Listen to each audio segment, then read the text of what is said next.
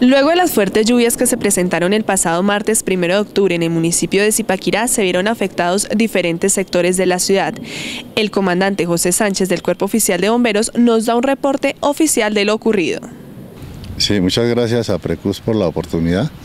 Pues eh, eh, para iniciar eh, fue bastante movido, como dice el, el aguacero, fueron, hubieron más de 35 afectados.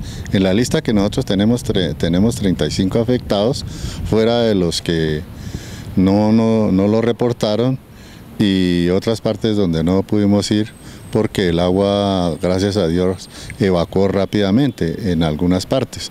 En otras partes el agua está represada, como es en, en los colegios de Barandillas, La Mariela, San Gabriel está depositada el agua ahí, entonces eh, se le solicitó al acueducto que nos colabore para evacuar esta agua de, que está depositada ahí porque no tiene salida para ningún lado.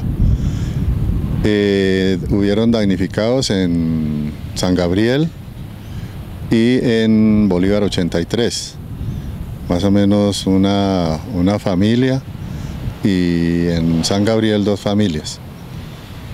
Eh, sí, pues ese es el, digamos, la estadística general que nosotros podemos presentar en el día de hoy. Habrán casos que no están reportados aquí, vuelvo y repito, porque no alcanzamos a ir y otros porque no las personas no lo reportaron. Generalmente se presentó eh, casos insólitos como inundación en un tercer piso, inundación en un segundo piso. Pues muchos se preguntan por qué. Eh, la razón es que como hubo granizo, entonces el granizo se, congeló en las vigacanales y esto evitó que la agua bajara por la bajante y se regó hacia la parte de adentro, haciendo daños grandes de, de, mayor costo, diría yo, como equipos, equipos, eh, camas, ropa y todo eso lamentablemente con, estas familias.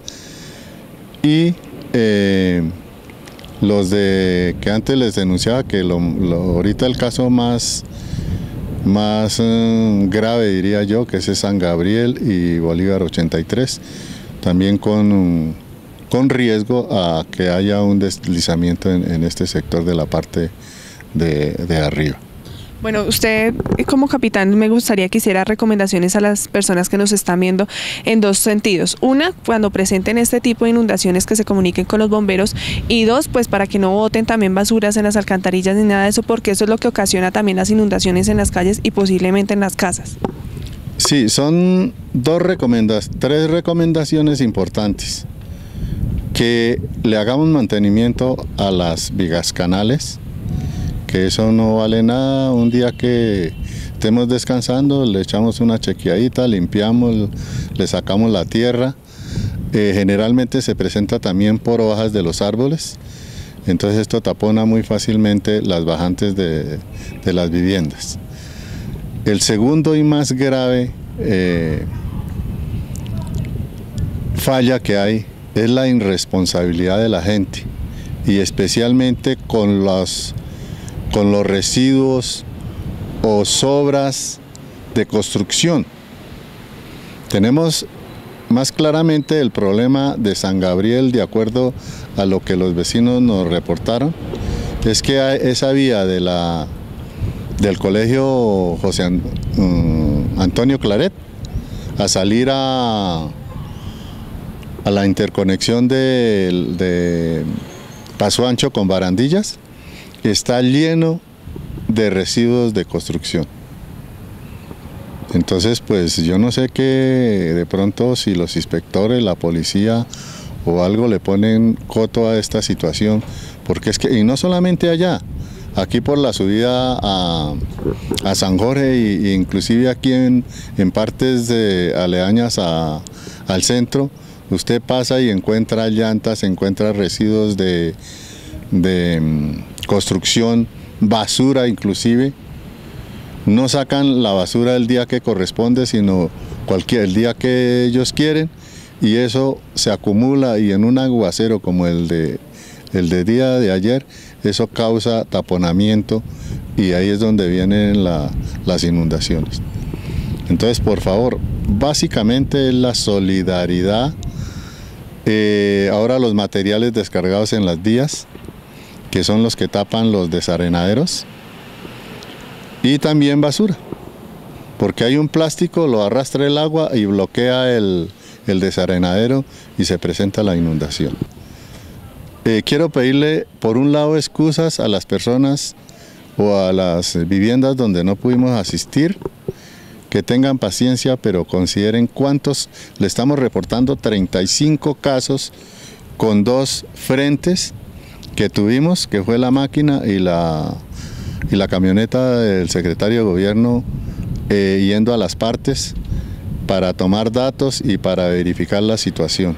Entonces, esto, esto prácticamente es un desastre general, que no que 8 o 10 bomberos o sean 20, no podemos atender a las personas como ellas tal vez lo desean. Entonces, la otra recomendación es que tenemos que prepararnos como personas individuales para en el caso de un desastre. Si esto es una inundación, entonces ¿qué pasaría cuando haya un sismo? Si vamos a colapsar hasta nosotros mismos acordémonos en, Pereira o en, eh, perdón, en Armenia, que los primeros que colapsaron fueron los bomberos, murieron 28 bomberos en un sismo. Y entonces que no hay quien los atienda, no hay. Entonces está la capacitación en caso de un desastre. En los países desarrollados lo primero que le enseñan a la comunidad desde, desde los cuatro añitos a los niños es cómo nos vamos a defender en un desastre. Pero entonces nosotros aquí a la comunidad le decimos en los barrios un curso de para atención o qué debemos hacer eh, cuando se nos presente un desastre. Dicen, no, hay qué pereza. Pero tenemos que aprender, así no nos guste. Porque en un momento dado, por ejemplo en el caso del sismo, le toca al papá, a la mamá, a los hijos, atender a, los mismos de su casa. Porque tenemos aquí en Zipaquirá aproximadamente 150 mil habitantes mal contados, diría yo. Y entonces habemos de, personal del cuerpo de socorro, habemos 150 de las de 100 mil, 100, perdón, 100 unidades que no alcanzamos ni para el arranque. Entonces el resto, ¿qué va a pasar? Entonces nosotros los invitemos a que se capaciten, que eso no hace estorbo. Se capaciten y antes nos colaboren, porque entonces les tocaría que se sentaran a llorar y a ver sus muertos y los heridos. Capitán, muchas gracias por estar con nosotros el día de hoy en Aprecus. Gracias, muy amable y esperamos que no nos que no que el agua no nos vuelva a castigar de esta manera y vamos pues a hacer todo lo posible para que nos preparemos mejor.